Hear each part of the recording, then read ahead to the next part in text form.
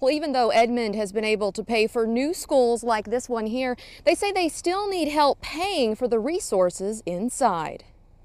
As schools across the state struggle to find the funds for classroom supplies and equipment, Lori Dickinson with the Edmond Public School Foundation says Edmond is no exception. Well, I think there's a misperception that Edmond is a rich city with uh, rich schools. We have new buildings because we passed bonds, but uh, the bond money does not take care of what goes on inside a building. She says Edmond Public Schools has been cut $14 million over the last five years, and teachers are coming to them for help with paying for classroom supplies, as well as STEM equipment for after-school projects. It's from everything. It's from, from crayons to markers to pencils to uh, specific books. She says they've received $400,000 worth of requests, and they've started their One Edmond campaign, asking business owners and residents to help them reach their goal if we're not willing to invest in their education and their futures, then I don't think Oklahoma can ever achieve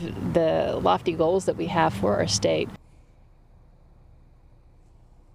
And we did reach out to the Oklahoma City School Foundation as well. They say that over there donations are actually up, but they could always use your help. For more information on that, go to our KOCO 5 News app.